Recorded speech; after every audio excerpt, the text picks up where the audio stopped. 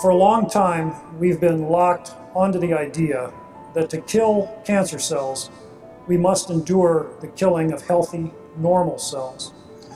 Our current therapies are narrowly balanced between shrinking the tumor and killing the patient. This idea is ripe for change. At the University of Virginia, we've been working to identify new and better targets in the war on cancer.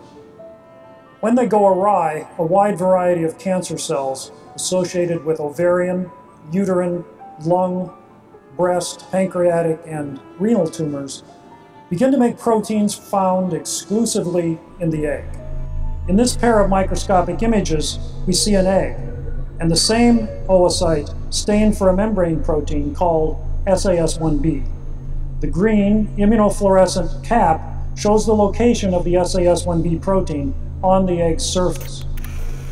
In this image, we see uterine cancer cells stained in fluorescent green for the same SAS1B protein. The SAS1B protein is seen both inside and on the surfaces of the cancer cells.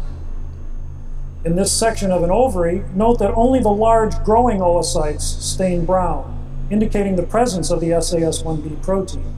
The small quiescent eggs in the ovary and all the other cells are not stained since they do not make the SAS1B protein. Among all the organs in the adult body, this protein is found exclusively in the pool of growing eggs. And because SAS1B is also found on the surface of cancer cells, we can use this protein as a primary target to deliver drugs selectively into cancer cells. An antibody, coupled to a drug or radioactive element, provides the delivery weapon. This is what tumor cells look like after being targeted with an antibody drug to SAS1B. Note the moth-eaten appearance of the dying cells. This fundamental insight into the nature of cancer that cancer cells are reverting back and taking on features of the egg unlocks a path to a future where therapies selectively target tumor cells, opening opportunities to free ourselves from the indiscriminate effects of chemotherapy as we now know it.